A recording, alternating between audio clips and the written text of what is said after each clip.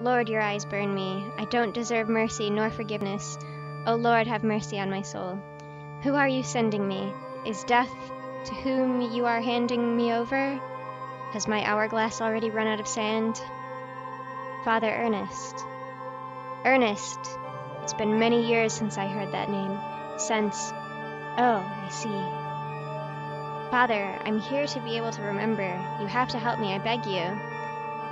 Pleas, entreaties, petitions, praying, torment, exemption.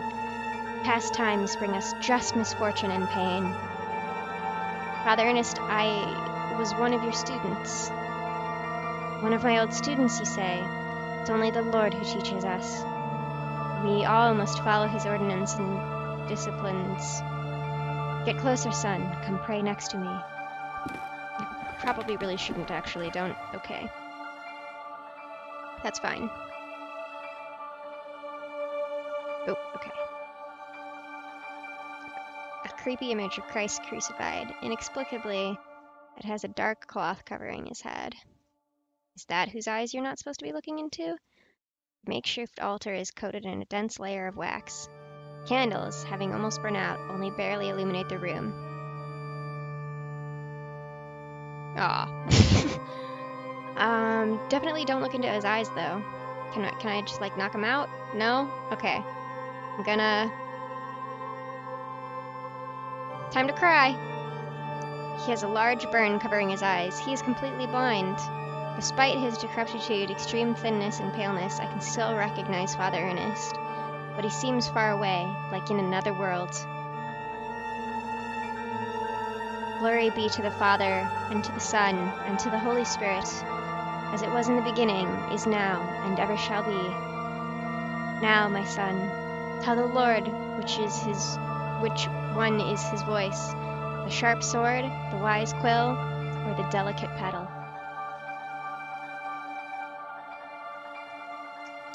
Hmm.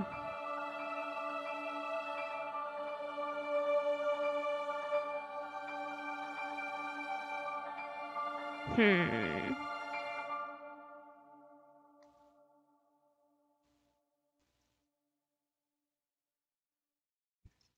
Which is his word?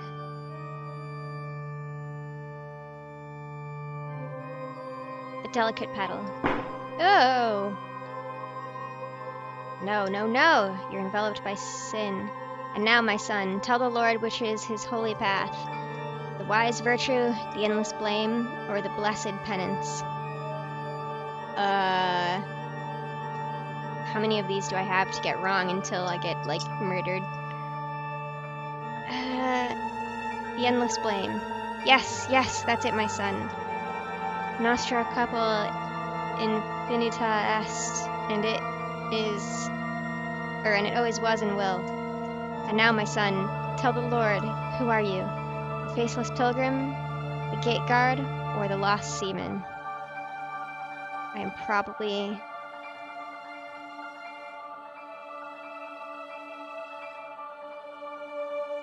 One of these.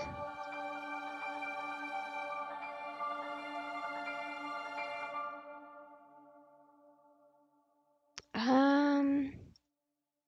If it's Eldritch, I should definitely go for being lost at sea. The Lost Seaman. Yes, yes, that's it, my son. We live lost in an endless ocean of sin and blame. Exactly, see, you get it. Now leave me alone, I have to purify my soul. Okie dokie. Nothing bad will happen in this hallway.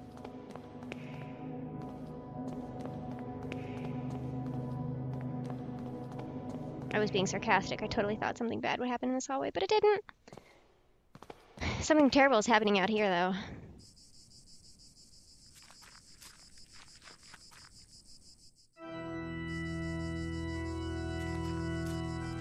Mother Elizabeth is trying to make him come to his senses.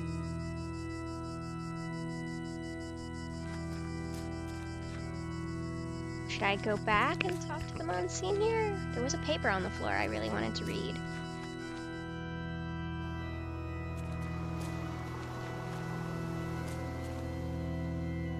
Where did she go? This. This guy. Alright, no, don't investigate that. Just keep walking.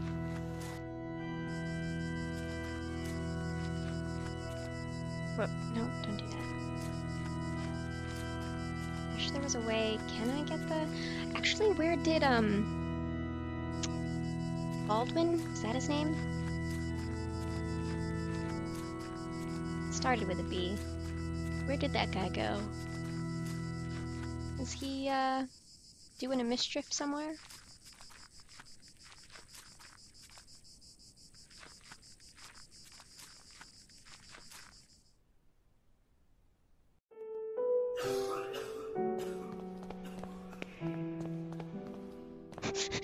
Honestly, every time that song starts, it it sounds like Mad World. And it makes me giggle. Baldwin? You doing a mischief? No?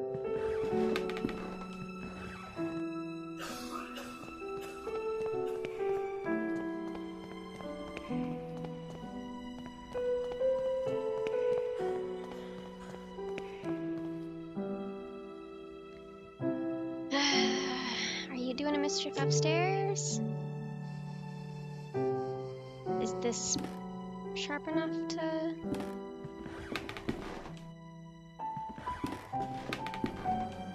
Syringe cannot be used to cut the tapestry. Damn.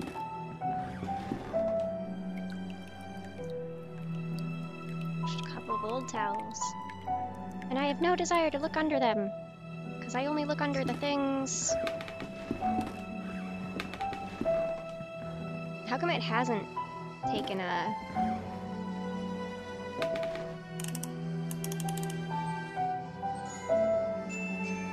the music box and coin out of my inventory?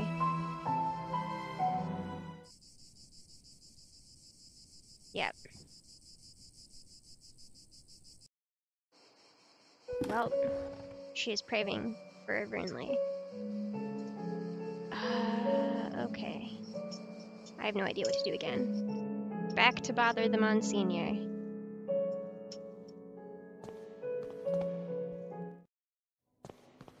This is the worst idea.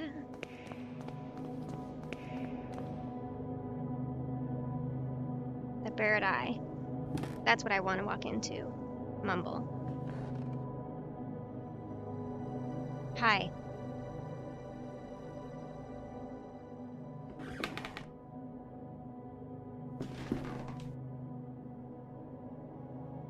Four witnesses. Murmur.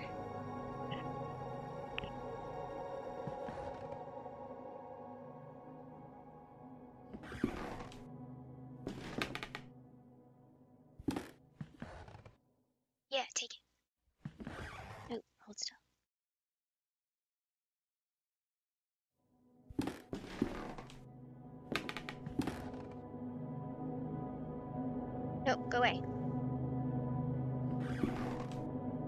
Okay.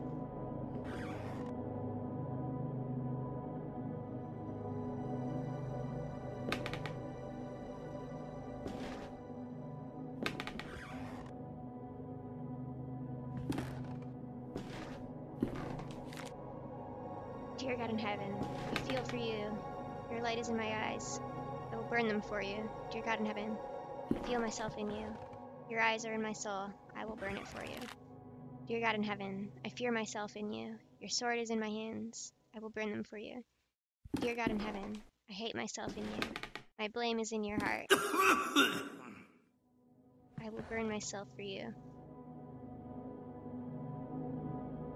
Hey! Turn. It's okay. Shh, I'm not here. Forgiveness is in the fire.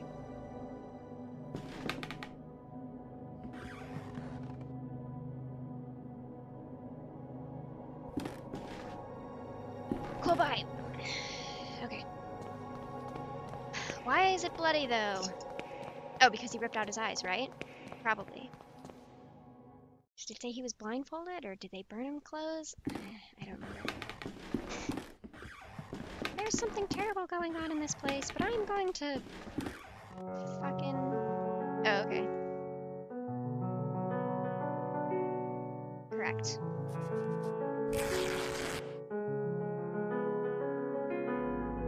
But I'm gonna investigate the creepy, blocked off part of this place anyway. Finally, our expert on philosophy, Jeremiah Devitt, shows up. Where were you, my friend? We have been looking for you.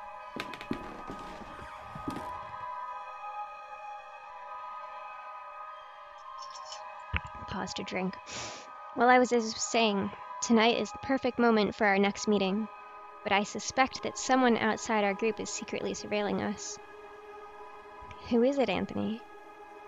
My dear friends, it is Professor Glynn. Do you mean Father Ernest? Certainly, no doubt about it.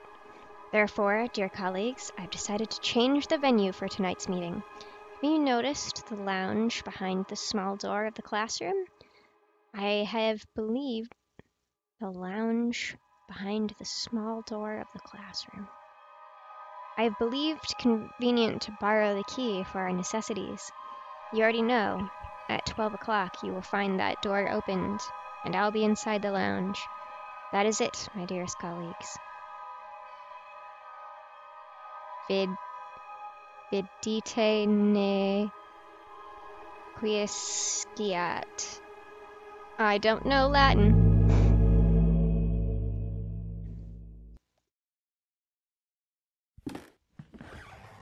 I remember that in this furniture we used to keep some of our personal belongings. Now it is empty.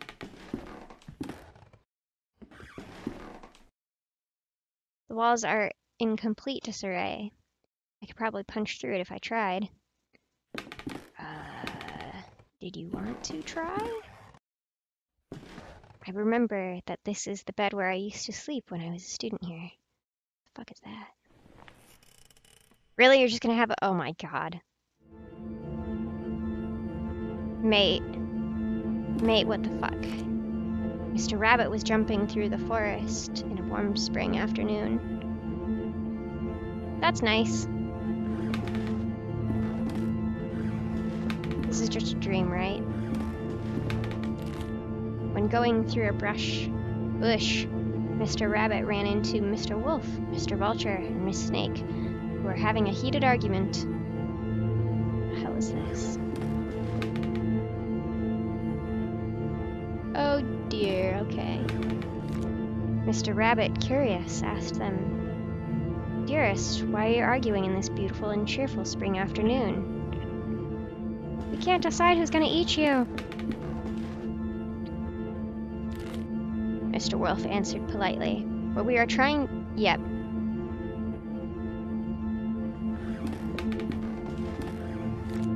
Mr. Rabbit, really scared, said, But I do not want to be eaten. I want to live.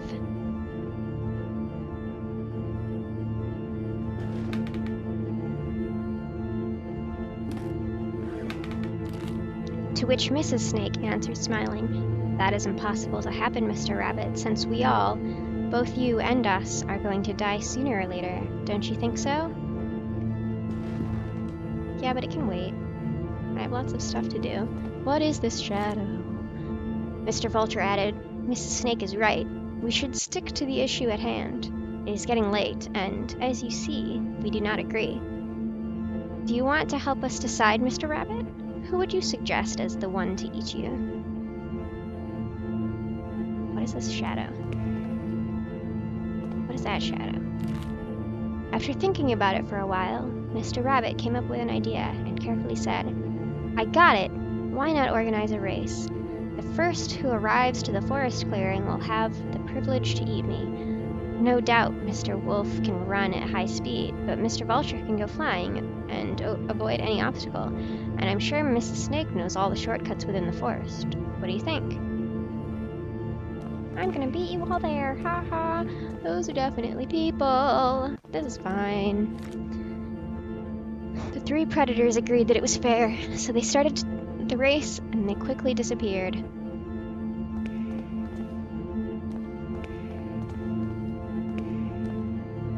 purple. Mr. Rabbit, happy to trick them, started running at high speed in the opposite direction of the predators, who, eager to prove their worth, didn't realize the trick.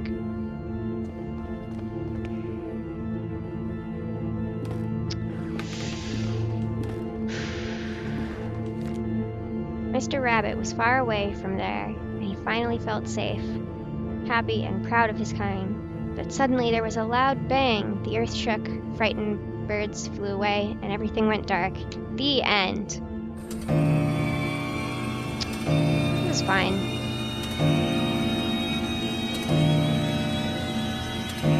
Alright, bye. That was nice. An impossible love. There was something I keep to myself, kept to myself for a long time. And the thing is that I love you. I have always loved you. Just in time. It's the first time I saw you, since the first time I felt your frozen hands. Each time I move away from you, I miss your glassy, empty, dead eyes. What the fuck? I miss your rough hair, your grayish skin, your stench. But our love just cannot be. It is an impossible love. The end. Great dreams there, buddy. No, not again. How long have I been sleeping? What was all that about? A nightmare I had found in the nightmare I had found a place a place of my memories. Dusty mirror.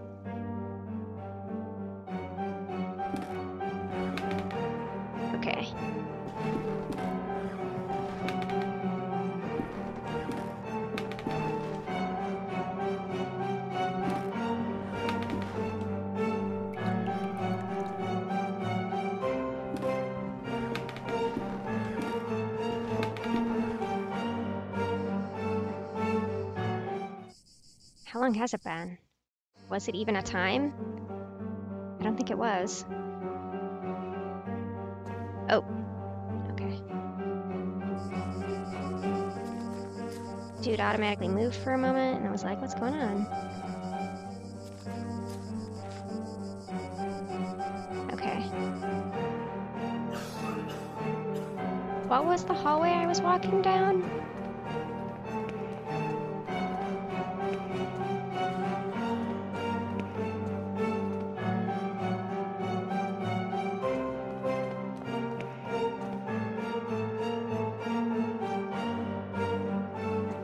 I I have no idea what to do.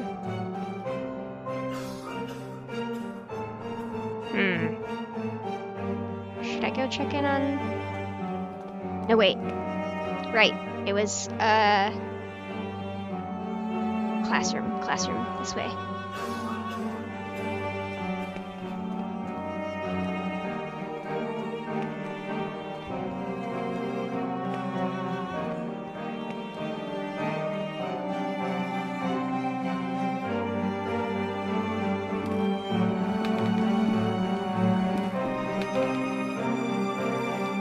Disturbing nightmare, I was brought to this spot. Excellent, let's stand there. I knew there was something under that freaking rug. I called it, I called it, I called it. It's the trap door I saw in my nightmare. From here sprouts a horrible stench. There is something down there. It's a person. Oh, it's lots of people. Did you see? Did you see? It was there, just in front of me. That thing was screaming. Shakes uncontrollably, his body racked with pain, and there is only one way to end his suffering. Oh, here we go. Was he shaking? Were the pixels shaking on purpose, or. Rest in peace.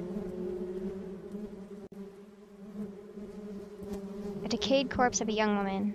It seems as if she had been devoured by an animal. Yay. Walls are splattered with dried blood. Alright, that's a door that I'm not going into yet. because absolutely 100% forget that. The stretchers used to carry the corpse here, corpses here. Who's behind all this? Probably the dude who's missing. Must have been dead at least a week, still bearing an expression of horror. Ugh, alright, time to go through the creepy door.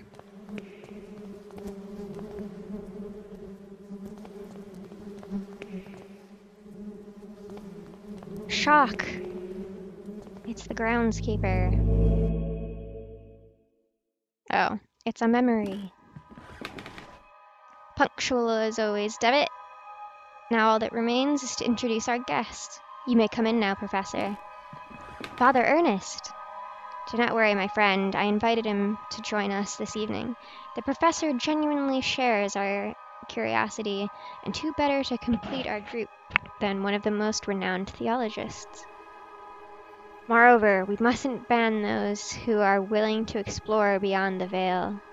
The moment we have long awaited is now arrived. Please, all of you, take a seat, and we shall begin the procedure.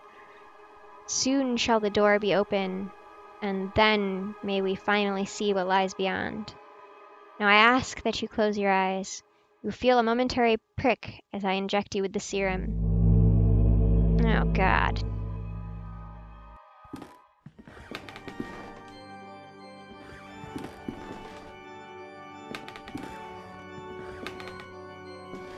Even after all these years, I have not forgotten your voice. You are the fourth witness. I remember. I remember now what happened. What is that? What is that we saw? The eye of the bird. Malaman say. What happened to us? What is it that we witnessed? You must tell me. You must make me understand what my mind cannot fathom. It was our curiosity that damned us. We opened that which should not be opened. In doing so, we shorn the veil that separated our world from his. In seeking vision, we were ourselves seen by the eye of the bird. It remembers us, it looks for us, it calls us from its dark nest, from its abominable lair. Abominable. it's got a sick six pack, bruh. All these years I have attempted to return to it, but I have no strength left. These poor, wretched creatures are too fragile. They lack the sight to return. Not one of them has, only us, the four witnesses. Who are the other two? Where are they? They disappeared as you did. I haven't heard from any of you, but I was seized by curiosity. It absconded with my faith and depraved me of sanity. O oh Lord, forgive me, for I have sinned. Nothing remains. All that is left is to surrender, surrender to Him. Gravely have we sinned, and now our only absolution is to burn, to burn in the flames. Malum. In. Say. I don't speak Latin, I'm sorry. Uh. I mean, I knew it, but I didn't expect it to be that bold. Oh, this is when I get buried alive. This is fine.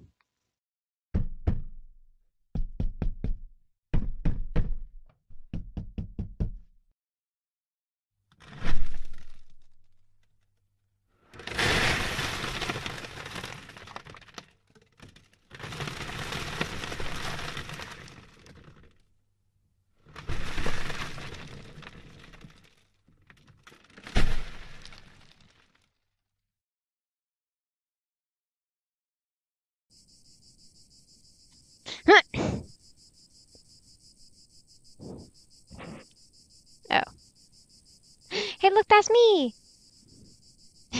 The adventure continues in episode 3. Does it? Do does it?